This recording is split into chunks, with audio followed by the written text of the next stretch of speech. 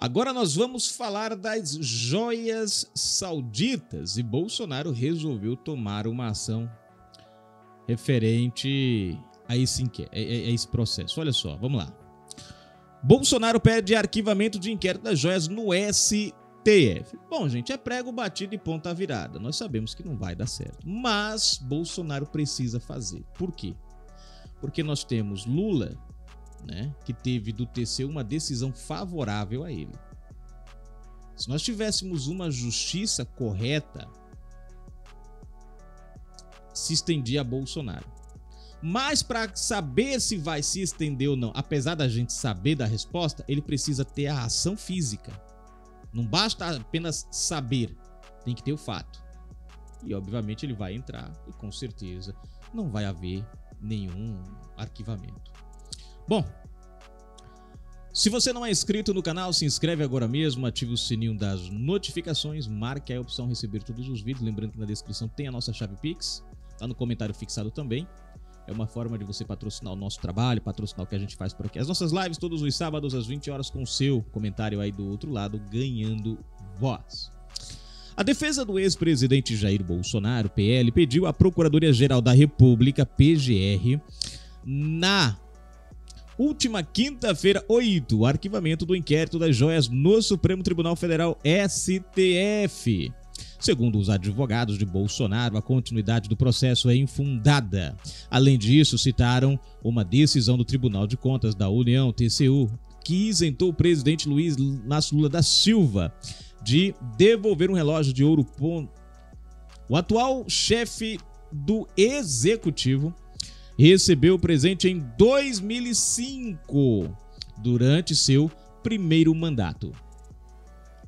A defesa do ex-presidente encaminhou o pedido diretamente à PGR porque o órgão é responsável por decidir se apresenta ou não a denúncia. No início de julho, a Polícia Federal, PF, o indiciou por associação criminosa, lavagem de dinheiro e apropriação de bens públicos. Lula não foi, né? Bens públicos, apropriação.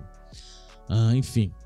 Em 2023, o TCU determinou que Bolsonaro devolvesse as joias recebidas na Arábia Saudita. Ele teria de entregar as peças à Secretaria-Geral da Presidência da República, responsável pelo acervo presidencial. Veja, o mesmo TCU, gente, que isentou Lula é o mesmo que disse que Bolsonaro tinha que devolver. Dá para entender? À época, os ministros entenderam que o presidente da República deve incorporar a seu acervo particular apenas bens de baixo valor e de caráter personalíssimo. Caso contrário, os presentes deveriam ser encaminhados ao patrimônio público da União. Bom, ex-presidente disse que vai leiloar joias e doar o valor. No último sábado 10, Bolsonaro afirmou durante uma visita ao Recife que vai leiloar o conjunto de joias que recebeu da Arábia Saudita, da Arábia Saudita.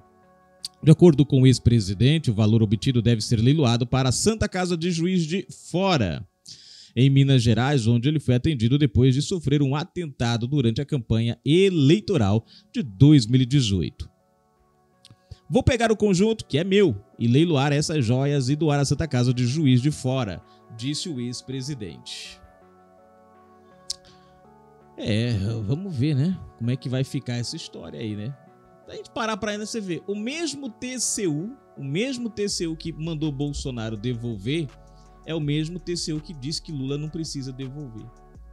Né? E, e, e, nós temos relógio no valor de 60 mil reais no caso de Bolsonaro.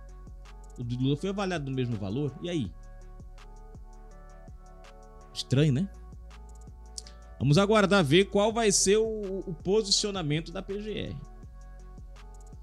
Lusitânia Prado comentando por aqui. Deixa eu ver. Fagundes esqueceu que quando Bolsonaro ganhou, os bandidos disseram que com o PT tem diálogo. Cabuloso. Outra coisa afinada. Mariela Talira Petronic.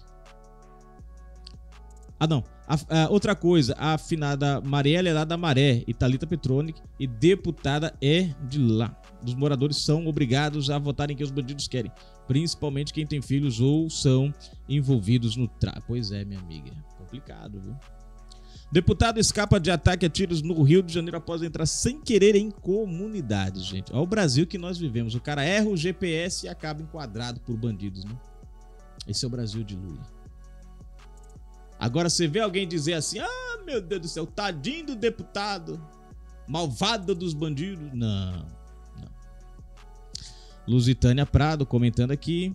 Fagundes, minha filha mora na Maré há 20 anos e toda vez que eu vou lá, o meu genro vai de carro.